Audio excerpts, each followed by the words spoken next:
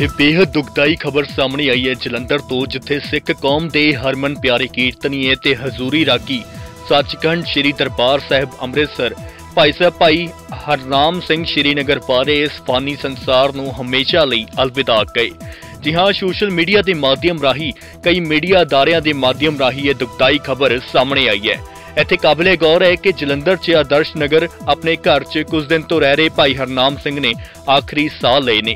ਇਹ ਵੀ ਸੂਤਰਾਂ ਦੇ ਹਵਾਲੇ ਤੋਂ ਸਾਹਮਣੇ ਆਇਆ ਹੈ ਕਿ ਭਾਈ ਹਰਨਾਮ ਸਿੰਘ 'ਚ ਕੋਵਿਡ ਦੇ ਵੀ ਲੱਛਣ ਦਿਖਾਈ ਦਿੱਤੇ ਸਨ, ਪਰ ਇਸ ਗੱਲ ਦੀ ਕੋਈ ਅਧਿਕਾਰਿਕ ਤੌਰ ਤੇ ਪੁਸ਼ਟੀ ਨਹੀਂ ਹੋਈ ਹੈ।